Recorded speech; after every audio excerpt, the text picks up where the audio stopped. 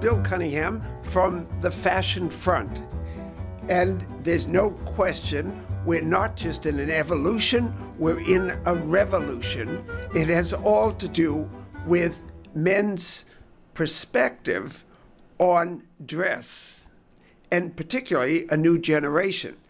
We will see the sweep of fashion, starting, if you will, the Ralph Lauren man in his very precise tailored tweed suits, jackets, waistcoats. And then you see the younger men here, the jacket as it would be all basted by a tailor with basting thread. So it's taking a very classic thing and tweaking it, which is wonderful. Now, the younger generation are seeing men's dress in a totally different way. Now, of course, they're obviously not going to a board meeting in a bank because they wouldn't get in the door.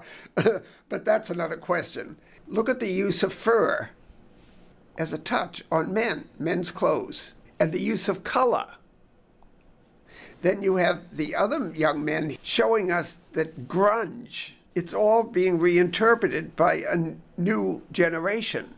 Marc Jacobs started it 20 years ago, and wow, we, we, it's back with a force. As a matter of fact, that's what the Saint Laurent was collection, Hedi Slimane's collection, was so criticized for. But there's something in the air, and it's all being reflected not in women's clothes, but men's clothes. But this young fella, in his full getup, and he painted his boots himself and embroidered his leggings himself. And then when I looked, I thought, my God, he's got gold teeth. Well, they weren't gold teeth at all, they were a grill.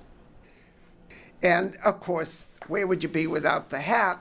And not just a hat, look at the rakish angle of these hats. Of course, how Buck Rogers got in there, I think it's kind of marvelous.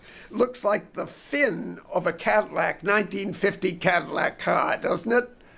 It's a very, very interesting time to be observing fashion. Fashion throughout recorded history has been a marvelous barometer.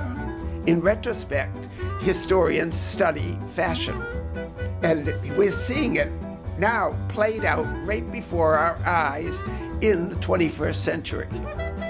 So, uh, don't, I mean, it's very easy just to laugh and pass it off that all this is going along with gay marriage and all this. They can dress any way they want. Well, it's much more than that.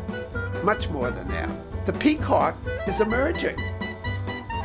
He's been a sparrow since mid Victorian times. We had the beginning of the peacock revolution in the 60s. Well, I think we're seeing the full flower of it now.